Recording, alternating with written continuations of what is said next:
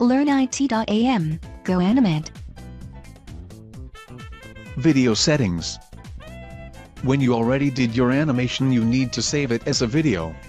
This lesson is about how to save and share your video, and about some video settings. Before you save the video you need to select the quality,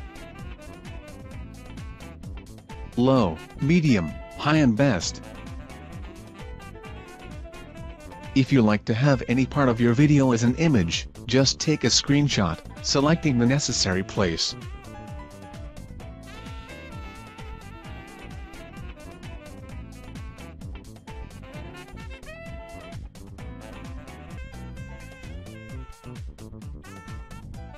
Save your video. By clicking Save button, you will see the following window. Type the name here. Type the keywords here. Describe your video. Select how you want to save it, then select Save Only or Save and Close.